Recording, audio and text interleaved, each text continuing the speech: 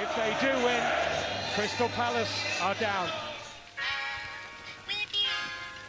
And it goes a little something like.